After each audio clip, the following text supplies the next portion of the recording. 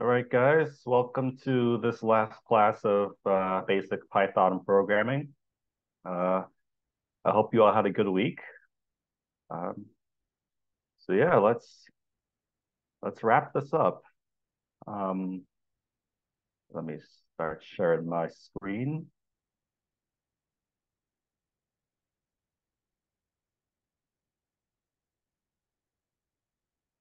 So we had homework from last class. Uh, I'd like to I'd like to go over both of them. Um, okay. So here for the first homework, we have a, a list called nums. The first thing we had to do was convert the list of strings. No, convert the string into a list of strings. That was first. Um, and then second, we convert the list of strings into a list of numbers. And then you print out the numbers, the list of numbers, and then you find the max and min of the, of, of the list of numbers, and then sort in decreasing in descending order. And then finally, you compare nums with nums2, like another list of numbers.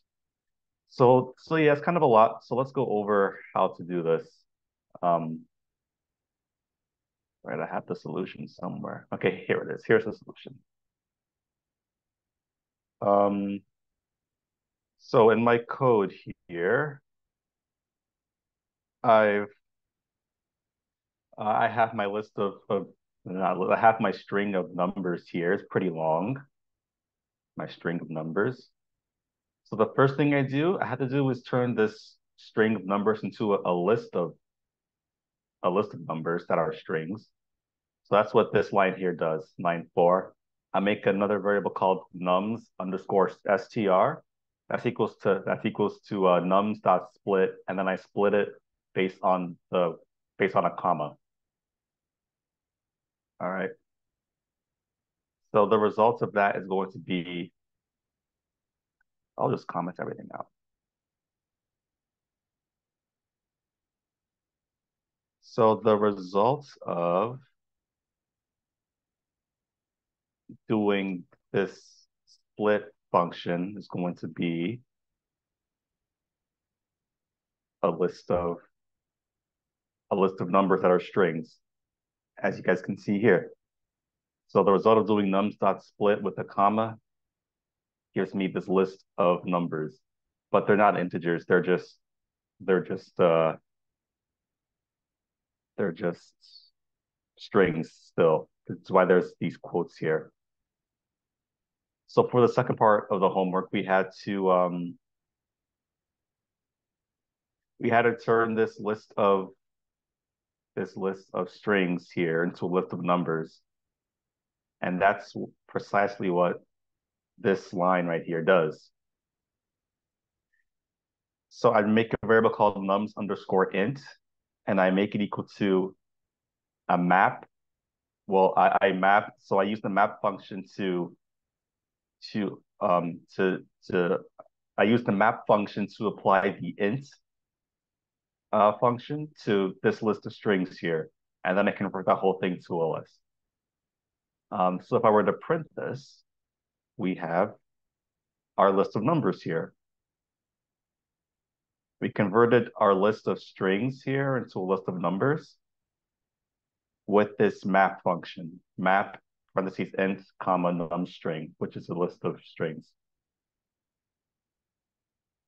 Uh, so any questions so far about what I've done with the homework solution? I'll make sure to post this on the Google Classroom as well, so you guys have reference to this. Uh,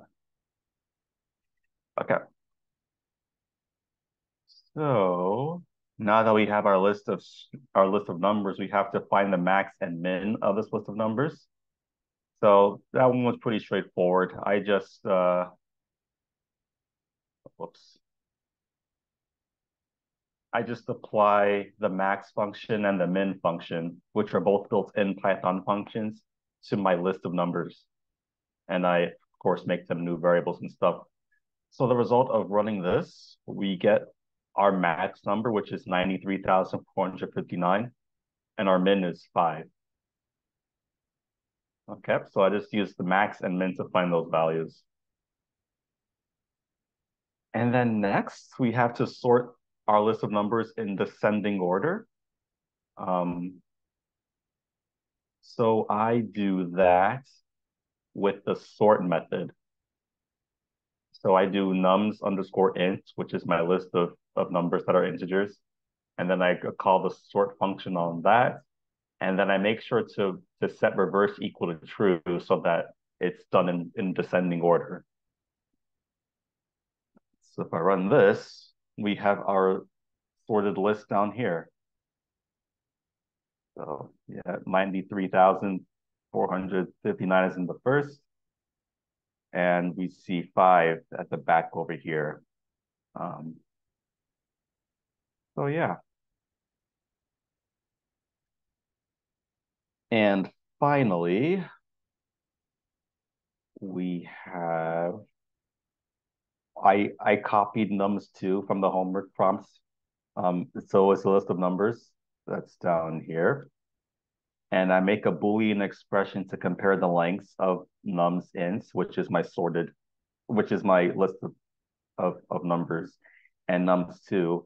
And this is a Boolean expression that I that I did. I did I'm comparing the length of nums2 to the length of nums ints, and I'm printing the result of that, which should be true or false. Running this gives me true, which means that the length of nums2 is greater than or equal to the length of nums int, which is my list of numbers. And that's the homework. Um, any questions about this homework solution?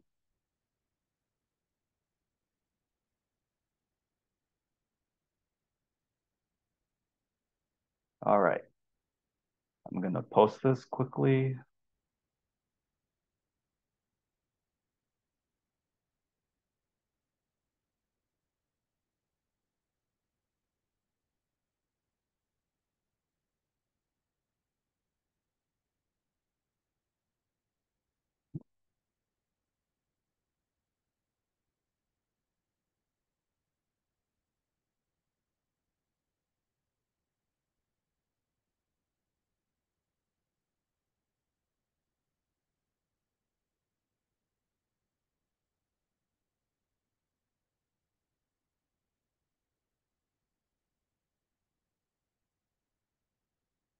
All right, posted. Okay, uh, now let's move on to the optional homework.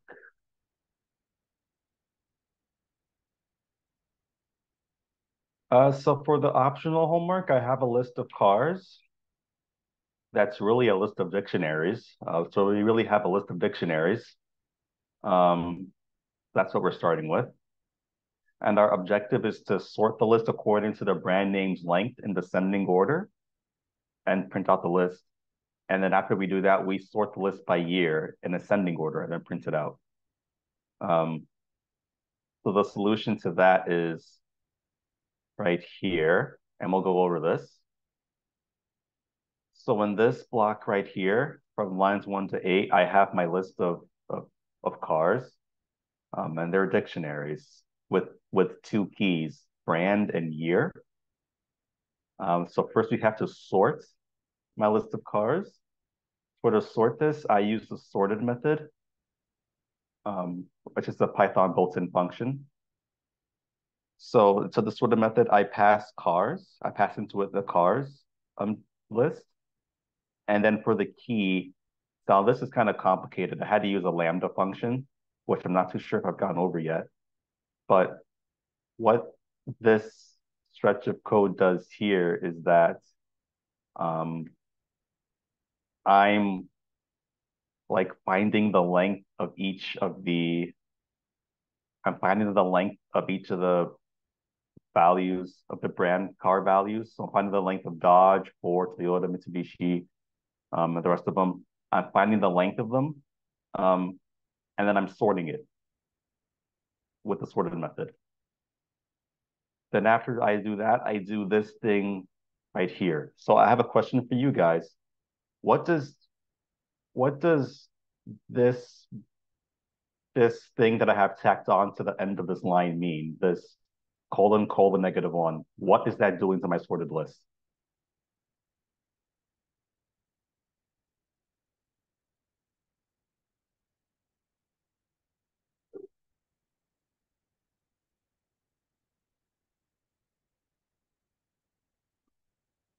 Right? It's reversing it. It's, it's reversing my list. Uh, good job, Ivan. So, yep. Um, and to sort the, the my list of dictionaries by year is pretty similar. I just do the same thing, except I just replace um, this Len D brand with just D year. And I, I don't have to find the length of it this time because the year is already in numbers. So I'm just finding, I'm just sorting my list of dictionaries by year, um, which is already an integer, which is fine. And then just print up both lists. Um, so yeah, the, the, the trickiest part of this homework is is the lambda stuff. Um, but yeah, any questions about this assignment?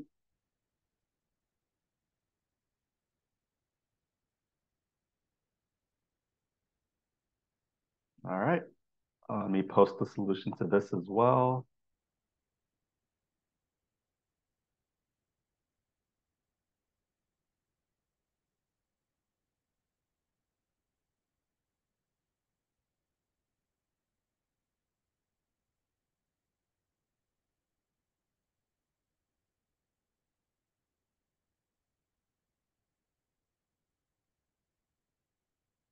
All right. Well, those are the homework assignments. Now let's get back to um, the lectures from class, the lecture slides from class seven. Uh, we weren't able to finish all of them. Uh, this is the last class, so we'll just see how far we can get. Uh, so with with the lecture with with the lecture seven slides, we talked a little bit about setting up the Python IDE, which which we have already done. So we'll just skip that. We talked about user input a little bit from last class, um, how to take user input. Um, we talked about typecasting. Uh, and we talked a little bit about code blocks, how to organize blocks of code. And that's about where we stopped, I think. Uh, let, let me see my interp see my code again. Okay. Yep, yep, today's the last class.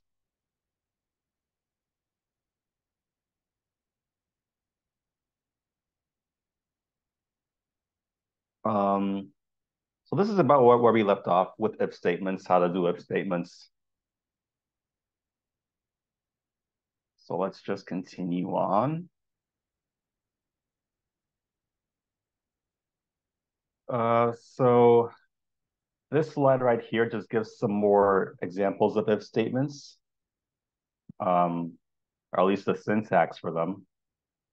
So for this first line, we have uh, if manager is, is equal to Tom and money does not equal 50. A second line is if my fave, if my fave in app. Uh, so this, this first line is just, just comparing um, manager to, to a string and money to uh, an integer. Pretty straightforward. The second line, if my fave is, if my fave in apple pear, what this is doing is that it's like checking to see if my fave, whatever like that variable is, if that is in this list. So doing the, this kind of syntax is pretty um, common in Python if you want to check if a certain variable is in the list. Um, yeah. And this third line, if x is y, yeah, that's just checking if two variables is equal to each other. Um, it's it works similarly, or really it works exactly the same way as um, equals equals. So this third line could be rewritten as if x equal equal y. Um, but but having in the syntax of x is y is also done, can also be done as well. Um, and then this fourth line, if x is not false, that's just, well, in this case, x is a Boolean variable, so that can be either true or false.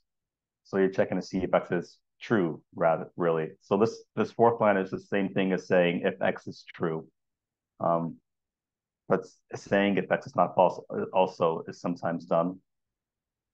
So yeah, those are just some examples of conditional statements.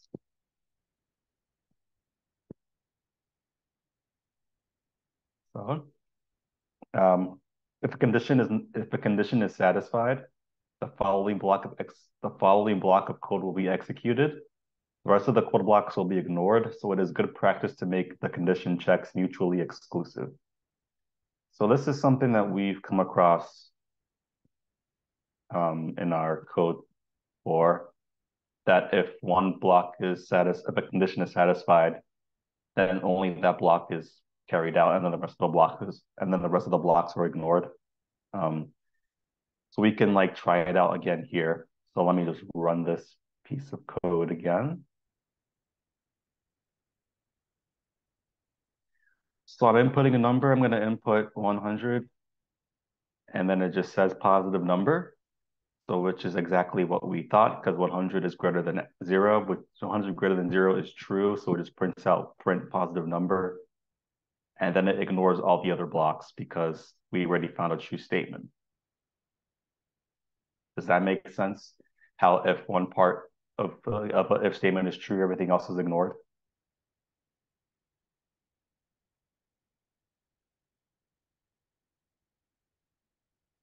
All right.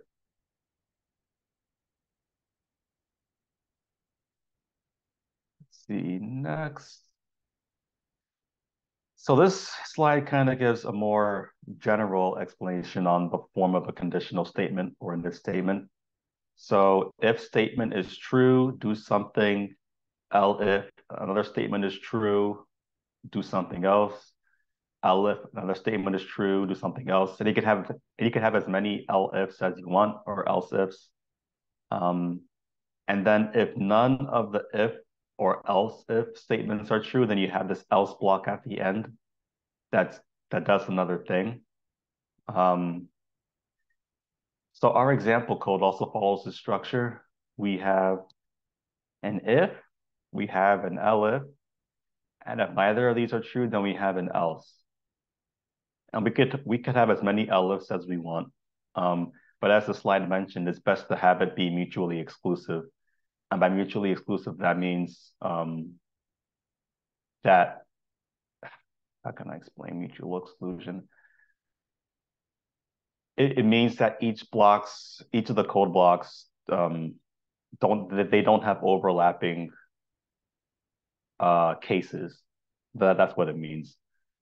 So these two code blocks are mutually exclusive because the number can't be greater than zero and also less than zero. That's what we mean by mutual exclusion.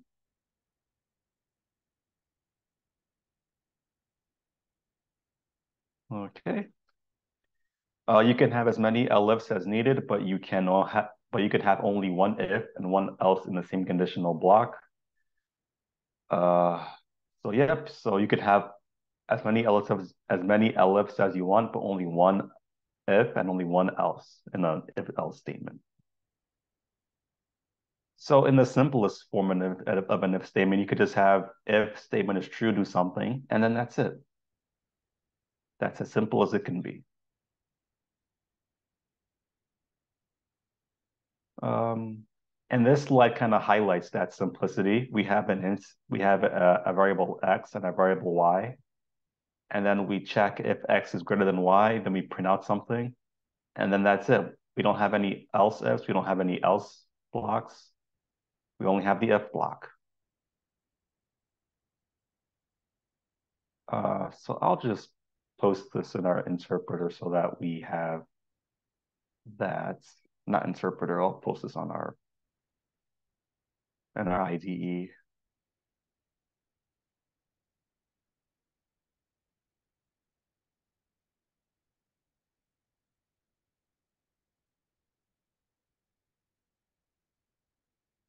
So yeah, it runs as we expect it. We only have one, even though we only have one block, if x is greater than y, then print out something.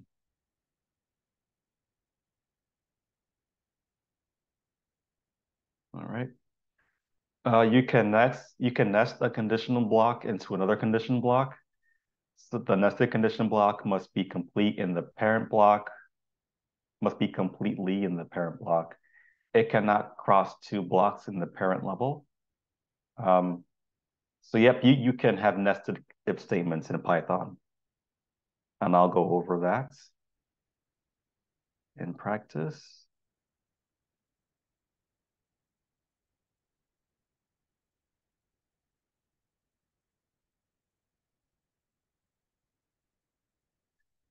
Uh, so for this code, we have um, an int x, or not an int x, we have x and y that takes user input.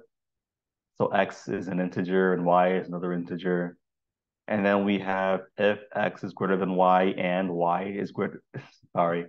And then we have if x is greater than zero and y is greater than zero, then we print something.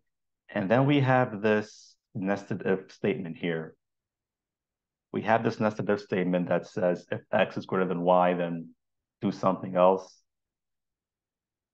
Else we do something else. and then we also have this other, uh, then we have this, other else block. So this might seem kind of confusing, uh, nested if statements. So we're going to practice this a little bit. Um, so let me run this. If I were to say, so x well, let's say that my x is 9 and my y is 100. If I were to run this code, what will be printed? What do you guys think will be printed?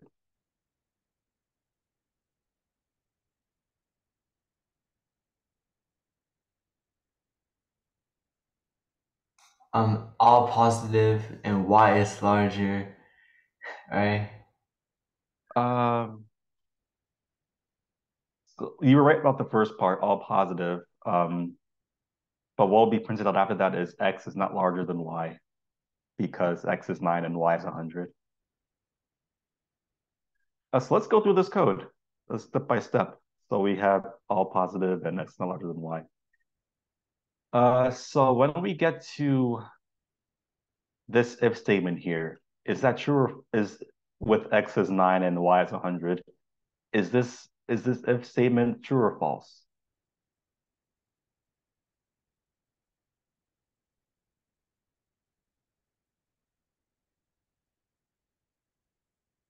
Is this is this line here true or false? It's true. Okay.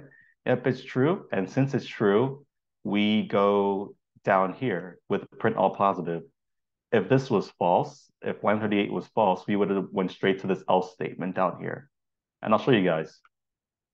So if I were to say x was negative 100 and y is negative 3, then we'll just go straight to not positive because both x and y are less than because because x and y aren't greater than zero. They both need to be greater than zero, or else we'll just go down to this else block right here. Okay. But let's keep them at nine and 100. Um, so since so so now that we're in inside the if statement like down here, we're gonna check if x is greater than y. Um, and since that's false, since x is greater than y is false, we go to the else right here, the else in line 42, and then we print out x is not larger than y. So that is how the flow of this program works.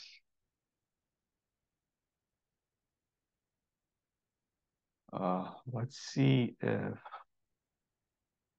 there are any more nested if statements. No, okay. Uh, are there any questions about nested if statements?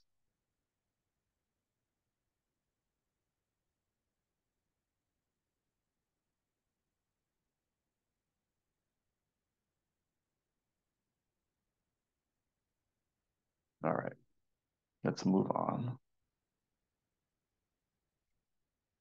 Uh, so we have an exercise. Try another example. Ask the user to input two values, then print out the difference if the first one is larger, print out their addition if the first one is smaller, and print out equal if they're true. Um, So let's go through this exercise together.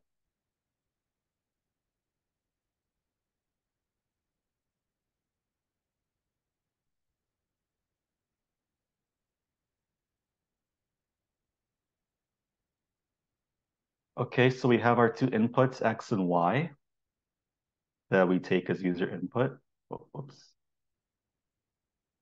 So the first thing we need to do is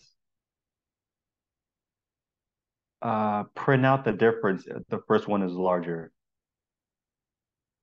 So I'm going to ask you guys what that would look like as an if statement, where we want to print out the difference between x and y if x is greater than y. Can somebody tell me what's the code? You can either post it in the chat or just say it.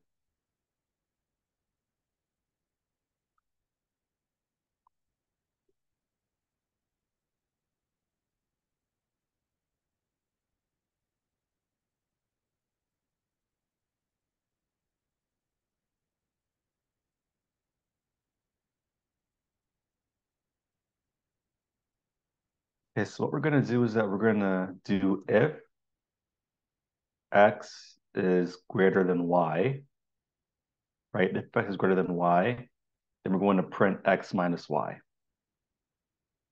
That's what the first part of the exercise wants us, the first part of the exercise wants us to do, right?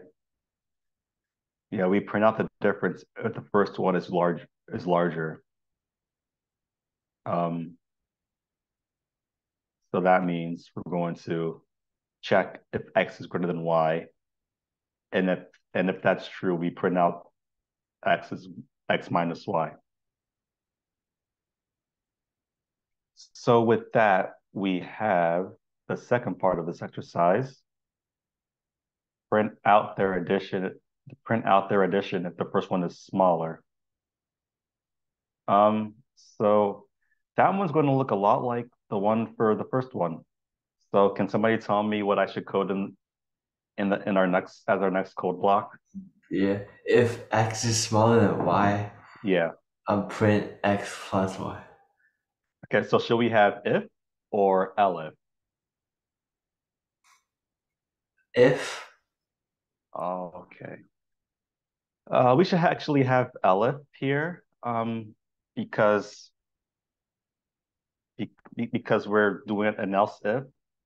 So the first part of our code checks if x is greater than y, then print out the difference. elif x is less than y, then we then we print x plus y. Um,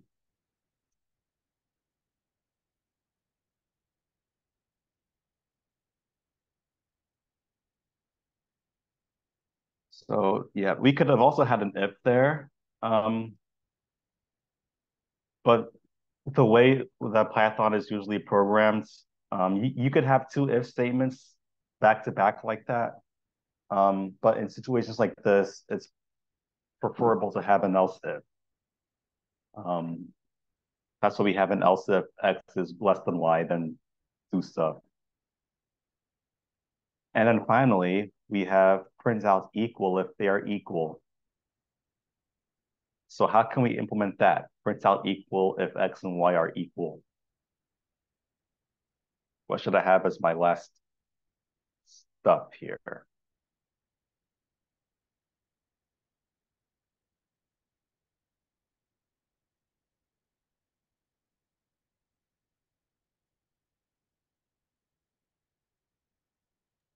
Um, We have else. yeah, else, um, print x equals y. Yep, exactly. Good job. So let's run this code and see what we get. Uh, let's put in 6 for x and 101 for y. So with that, we get x plus y because x is less than y, which is what we expect. Now let's do x as 1,000 and y as 9. We get x minus y, which is what we expect because now we are in this block. when in the previous one, we were in the in the elif block. Um, and finally, let's make x let's make x1 and y1. We print out x, x is equal to y because we are in the else block. And we are in the else block because neither of the two preceding if and elif statements are true. So we went to the else block. Uh, any questions about this exercise?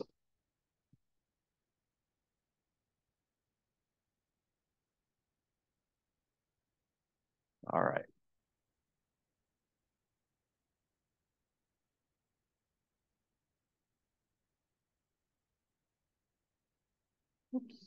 Ah, stop.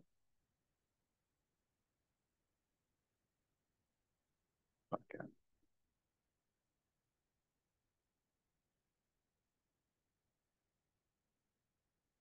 All right, let's move on.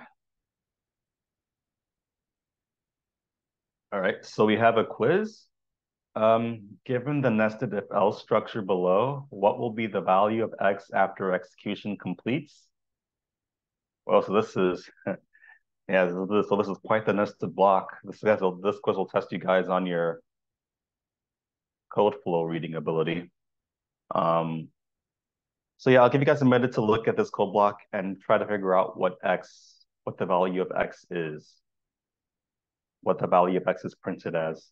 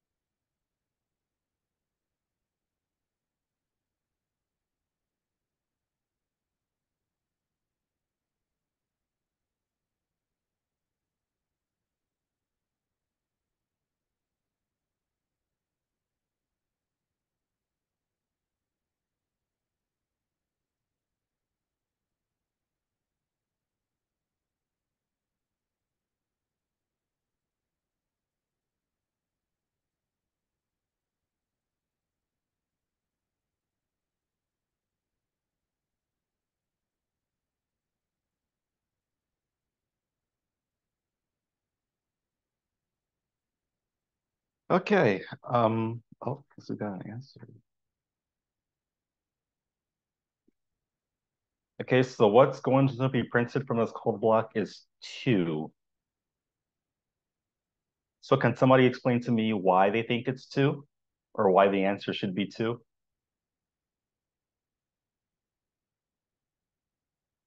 Yeah, go ahead, Eddie. So like for like so the first part like like after all like the equations like if a is bigger than zero then like a actually it's not bigger than zero so we can just cancel out everything in like that like part of the code. So like we just go directly to the else at the very bottom. Yep. so it just like says x equals x plus 2 so x is 0 so then it's just 2 Yep, that's exactly right, Eddie. Very good job. And we can verify this by uh, printing out this, by actually running this code. Um, let's see.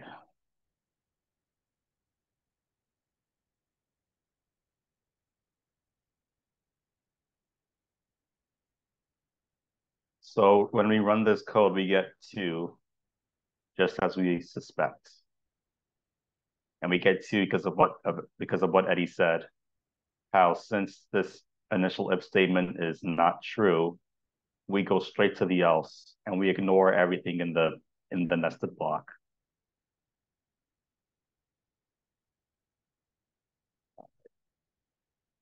Uh, let's see, what's the next question? actually, let's play around with this, with this quiz a little bit more. So if I were to change, if I were to change A to nine, what would I end up getting then if I change A to nine? Five. Uh, and why do we get five, James? Because A is greater than zero and B is negative five, which is smaller than zero. So the first two ifs, it just works. Hmm. Yep, that's exactly right. Nice job, James. So if we run this, we indeed get five.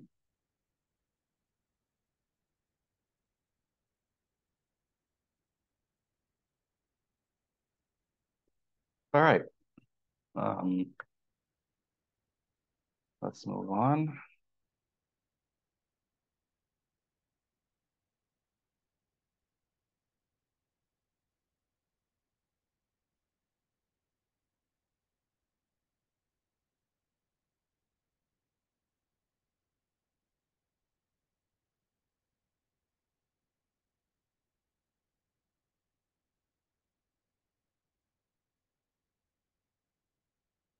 So for the second quiz, we have what is the output of the following if statement? Um, we have two variables A and B, and we have this if statement. Oh, wow, that's interesting. Um, okay, I'll, I'll let you guys think about this one um, and post what you think the answer is.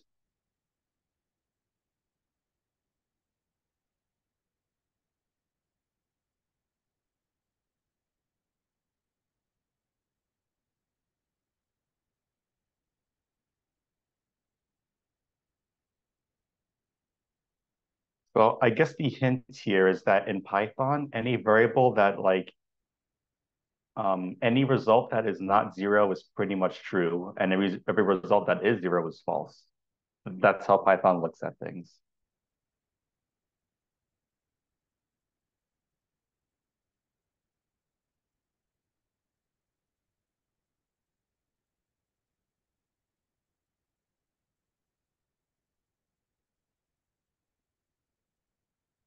Okay. Uh, so the answer is actually true because um, A plus B is 17 and 17 is not zero, which is true.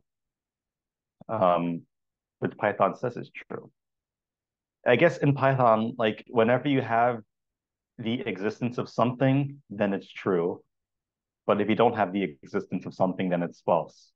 So like even an empty list in Python would be false. But any list that has stuff in it would be true. One of the things that you come across. So if I were to run this code, um, we indeed get true. But if I were to change 12 to, uh, if I were to change a to negative 5, and we try to run this code, we get false. And we get false because negative 5 plus 5 is 0, and to Python 0 is false, so we get false. Any questions about that quiz?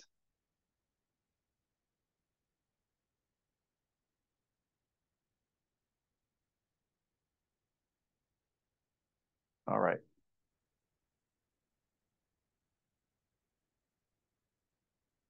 Uh, so there is homework for this lecture, but this is the last, since this is the last class, you guys can just do this for fun if you want.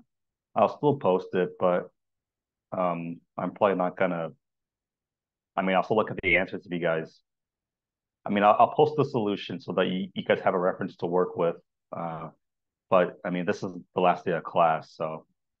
But anyway, this homework is, this homework says to ask ask the user to input a sentence with at least 30 letters. If the input has less than 30 letters, ask the user to input again. After you get a satisfactory input, find out the middle letter and its position. And it gives an example. Um, if you have 35 letters, the middle is the 18th one. If you have 36, the, if you have 36, then both 18th and 19th are the middle letters. Um, so yeah, and there seems to be a part two. Okay, then you print out the result and then you sort the letters in the sentence in alphabetical order. So you, are going to use the sort method. Um, and then you're going to find out the middle letters again and then print the result. Uh, this should all be written in one file. The process to find the middle letters should not be hard-coded. It should work no matter what sentence you put in. Uh, so this homework tests your ability to use if statements, typecast, take user input. Um, yeah.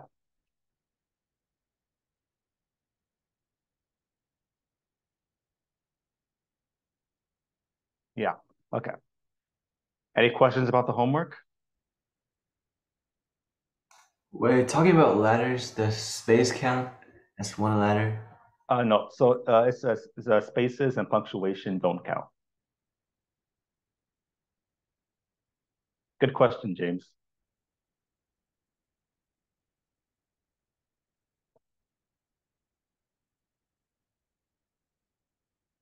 Okay. So with that, let's move on to the last lectures slide.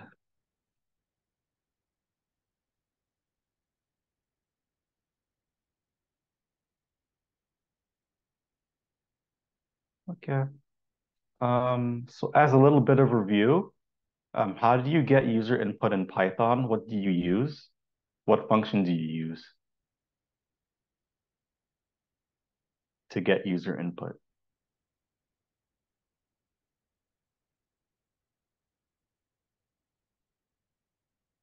We use the input function to get user input in Python. Just like we have in this code right somewhere over here. Yep, right here, we use input to the, the input function to take user input. Um, secondly, how many elifs can you have in a condition block? Can somebody answer Infinite, that? infinite. Yep, infinite. Good job, James. Uh, okay. So the um, so for our last time here, I'll give a quick introduction to loops in Python. Um, so just so I know, um, does anyone here have any experience with loops in general, whether they be in Python or Java or whatever?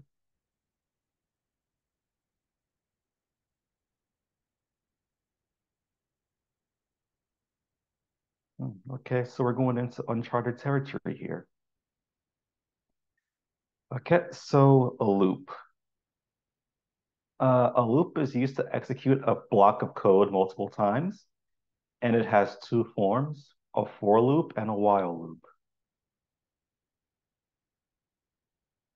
So in a for loop, this is an example of a for loop. We have, we have, say we have a list of fruits, and then this is the syntax to iterate through this list of, of fruits. We have for x and fruits, print x. So if we were to um, if we were to put this in our code,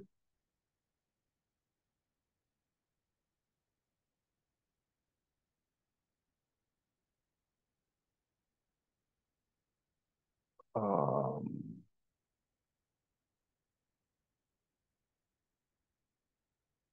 So for X and fruits, so what this block, what, what this line here means is that for, which is how we do loops, for X, which is just a placeholder variable, and then we do in fruits, and fruits is a list.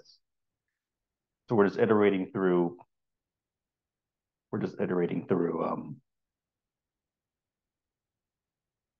our list of fruits here. Any questions about this, about what this code block does?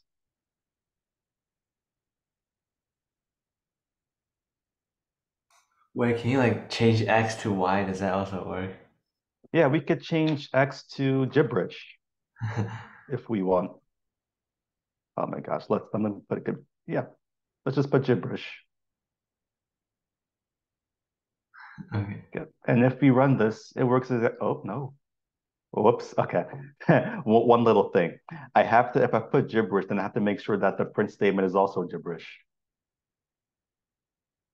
So we could just do something like this for gibberish and fruits, then print out whatever our placeholder is. And then the code will still work. So yeah, that, that's a good question. Yep, it's the X, the X in this code block um, is only a placeholder. It's a placeholder variable.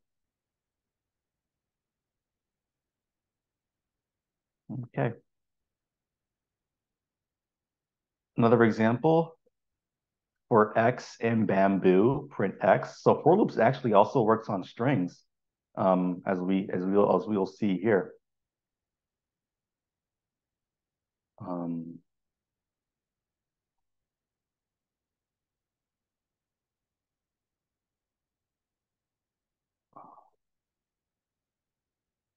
So we have for X in bamboo, print X. So if we were to run this, we get each individual letter in the in the string bamboo.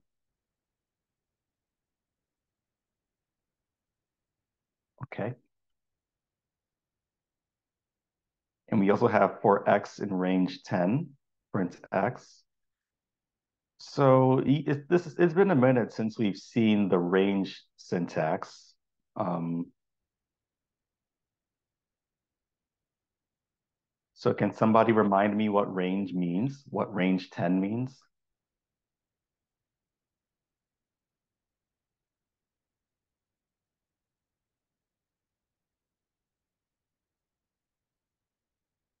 All right. Does that give you numbers start from zero? Yeah. Mm -hmm. It goes from zero to nine.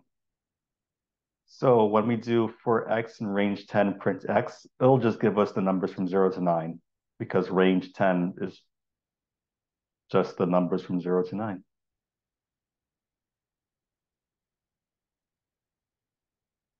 Okay.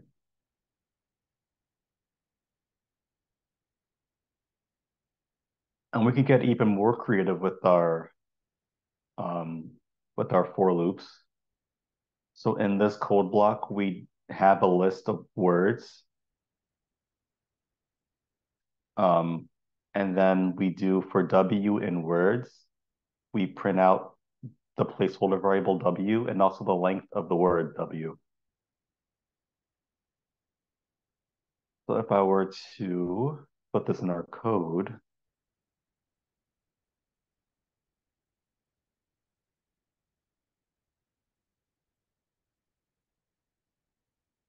we'll get cat 3, Windows 6, and demonstrate 12 because we're iterating through each of the words in our list of words here. And then we print out W and the length of W. All right. That's how it works. Any questions about this loop? About this for loop?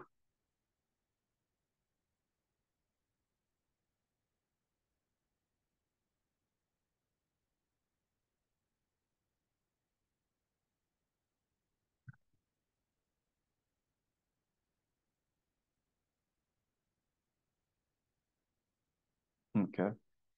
Um, we could also loop through a range.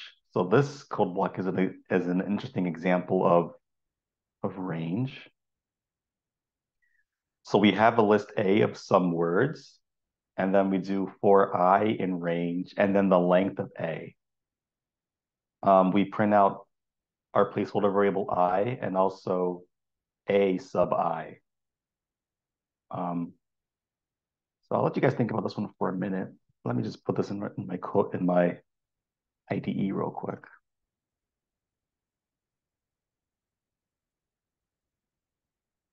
Um, so can somebody tell me what range len A is going to be?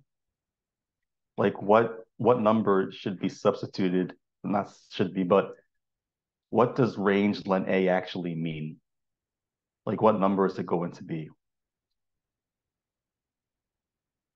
I'm just guessing it's from like zero to four. Exactly. Yeah. Yeah, because because the length of A is zero is is one, One, two, two. three, four, five. Yeah.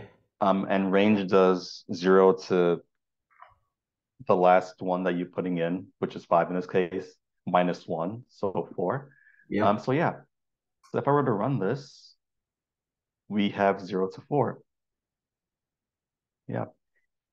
And this a sub i, what this is doing is that it's printing out like each each element in the list. So when a is zero, we're printing out a a bracket zero, which is Mary. When a is one, we're printing out a bracket one, which is had, and then so on. So yeah, this is an interesting use of a for loop. Um, so list is used in loop, and list is used in the loop so the code can process each and every item in the list. So pay attention to the code block and in keywords. Let's review our list comprehension. So yeah, you guys will probably recognize the for keyword from our list comprehension lesson from a while back. Uh, it's the same exact thing. List comprehensions also use for loops implicitly.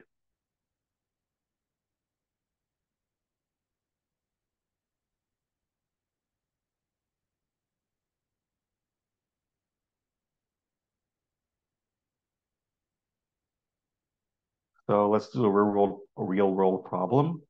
We have a list of numbers. If we do not use the built-in function min, how can we find the minimum value of the list? Does the next slide give the answer? Yes, it does. Okay. All right. So how can we find the minimum value of this list of numbers here without using the built-in function min? So it looks like this code block here, this next slide shows us how to do that. So let's copy this over to our IDE and see what this is about.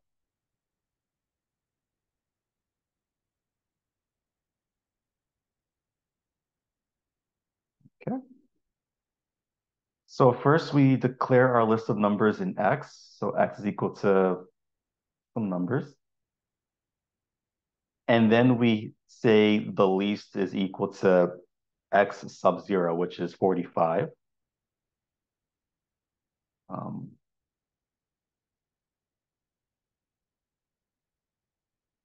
and then, and then we iterate through X, okay, which is a list of numbers.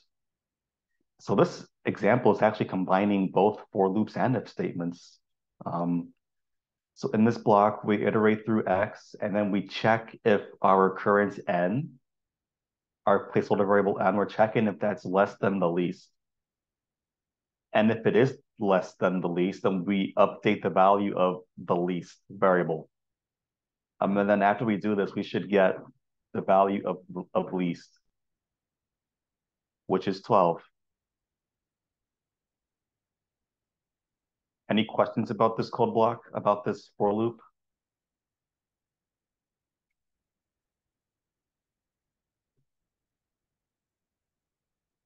Jeez, my cat is losing his mind in my room right now.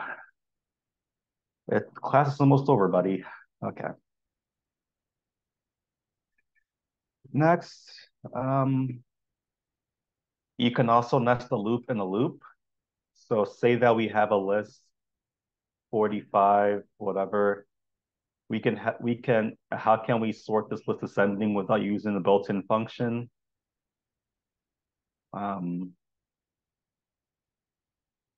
hmm. We can do it with the nested for loop. So let me just copy this over and play with this, play around with this a little bit. So here we have a regular for loop that's not nested. And then next we're gonna have, this is gonna be a big file. next we have this nested for loop. So in this nested for loop, we have for i in range len x.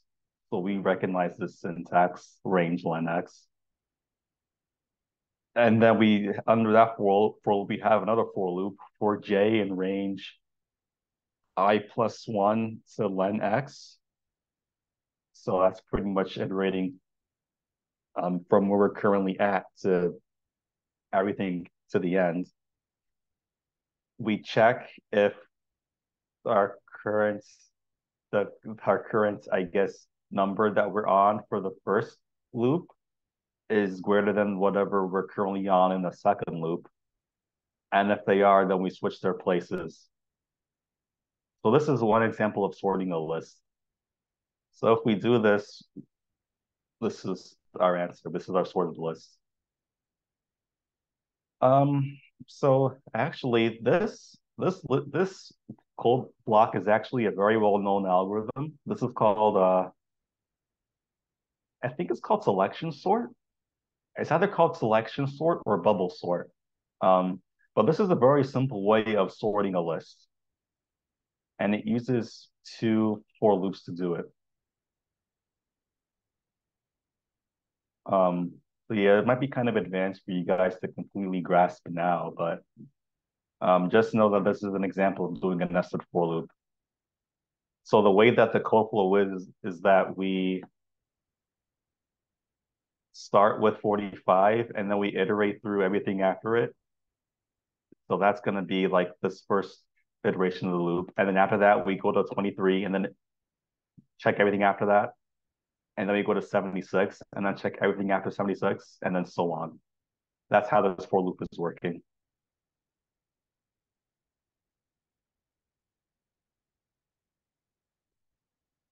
Okay, I think I have time for one more slide. Um, this one's hard. Okay. Uh, what is the output of the following for loop and range function? Uh, so we have for num in range negative two, negative five, and negative one, and then print num and equal. Let's just put this in our IDE and see, because even I don't know what the answer to this is.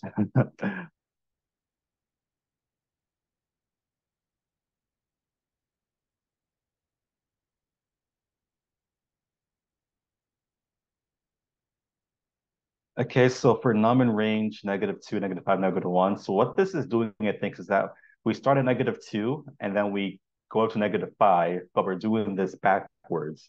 So this does negative five, negative four, negative three, or something like that. Okay, so we're skipping negative five, which okay. Um, so we do negative four, negative three, negative two. So we're kind of iterating from negative five to negative two backwards, and we skip negative five because we always skip the last thing that we're on. Um, so this answer corresponds to D.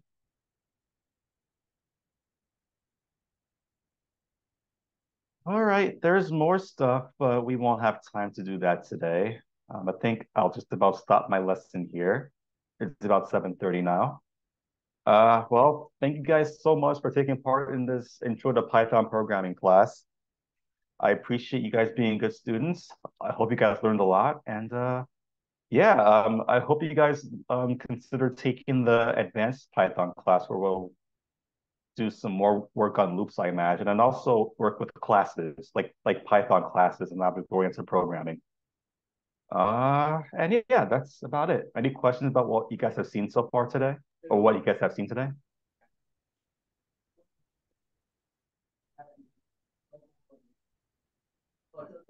Okay.